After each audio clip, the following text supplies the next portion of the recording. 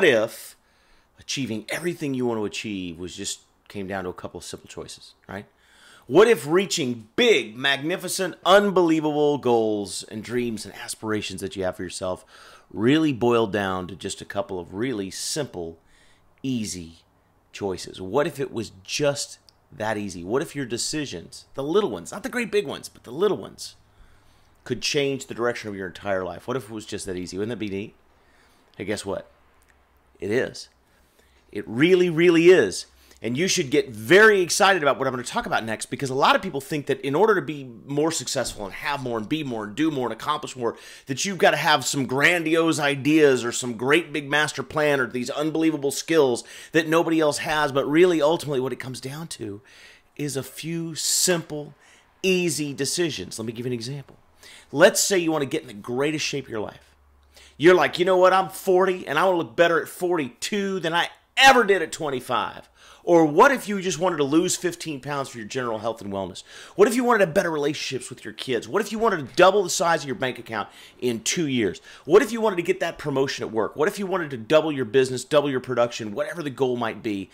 And all you had to do was make a few easy choices. For example, if losing 15 pounds was your goal, the only choice you have to make is every time you go reach for something to eat, if it's not something that you know is going to move you closer to your goal, and let's face it, guys, you don't need a book or a program or some fitness guru to tell you how to lose weight, right? You already know, don't you?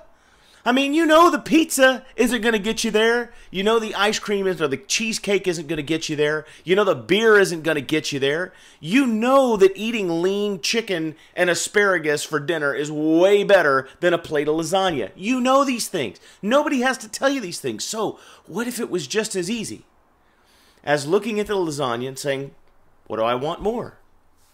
Do I want to lose that 15 pounds or do I want the lasagna?" And whatever the answer is, do that. If you want to lose the 15 pounds more than you want the lasagna, then you know what you got to do.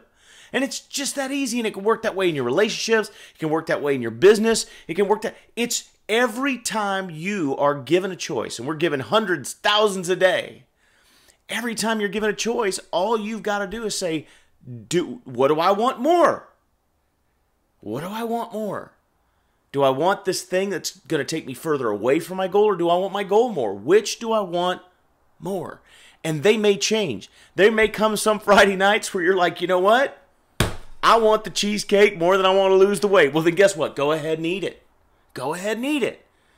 But when you wake up tomorrow morning, you can want to lose the weight more than you want the, the, the, sugary cereal in the morning or whatever the case might be, right? You can go back to making better decisions. My point is, you don't have to become a guru. You don't need crazy skills. You don't need necessarily a, a, a coach or a personal trainer. You can accomplish just about anything in your life by making little, seemingly insignificant, but compoundedly the most important decisions that you'll make in your life. And you'll make them all day long.